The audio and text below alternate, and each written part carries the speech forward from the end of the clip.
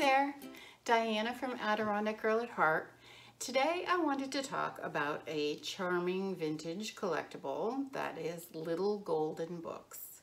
Most of us had at least one or two or maybe three little golden books that we loved and asked mom and dad to read night after night. Simon & Schuster introduced Little Golden Books in 1942 with 12 original titles. I don't happen to have any of those titles with me today, but I've bought and sold a number of them over the years. Those first 12 copies were sold for 25 cents each, and they came with blue spines.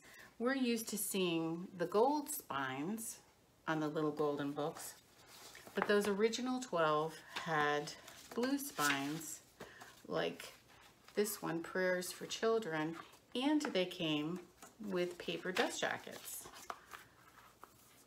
This is the first time I've actually had one that had the dust jacket. In 1949, they introduced the gold spine. And it wasn't until 1962 that the price was raised from 25 to 29 cents. Nowadays, they sell in grocery stores and bookstores for anywhere from three to five dollars each. When people are collecting little golden books or buying them to sell, they look for different things. Sometimes they're looking for specific topics or books by specific authors or illustrators. So an example of that is this book, Rabbit and His Friends by Richard Scarry, another well-known children's book author. He wrote a number of little golden books and illustrated them, including this one. And then we have the bunny book, also illustrated by Richard Scarry, but written by his wife. One of the ways to tell whether or not you have a first edition is to look at, at the copyright page. So in the case of Prayers for Children, there are a number of different printings. And so that lets me know that this is not a first edition. Sometimes an edition, a, a book will have just one date on the copyright page, like Little Cottontail has copyright 1960. But Little Golden Books has an interesting way to double check that. And that is in the back of the book on the last page, right at the spine, you will very often find a letter squeezed in there. In this case, the letter is B. I hope you could see that.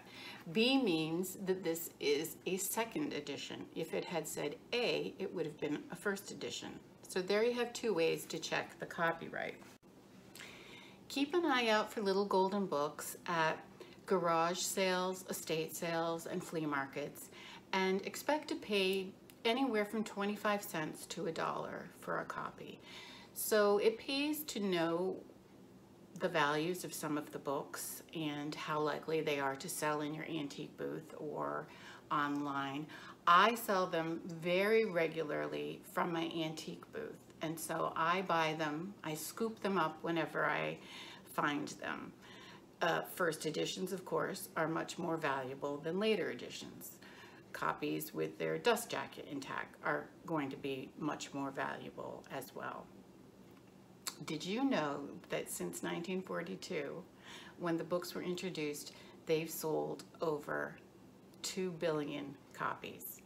And the Poky Puppy title has sold 15 million copies alone and is the single most popular children's book in the world. It's worth it to take some time to learn a little bit more about Little Golden Books, and I hope I helped in that process. Thanks for joining me, and happy hunting.